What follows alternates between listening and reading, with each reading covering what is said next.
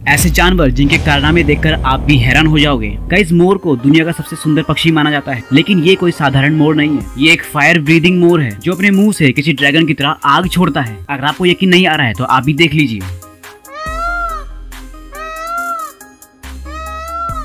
दुनिया के सारे पक्षियों से अलग, उल्लू एक इकलौता ऐसा पक्षी है जो सबसे ज़्यादा अलग होता है, और वो इसलिए क्योंकि इसकी उड़ान पूरी तरह से साउंड प्रूफ होती है।